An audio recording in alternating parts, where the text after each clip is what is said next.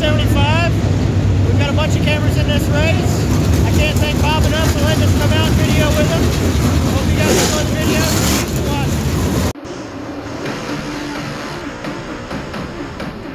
Videography at its best. It's speedway car cams or nothing.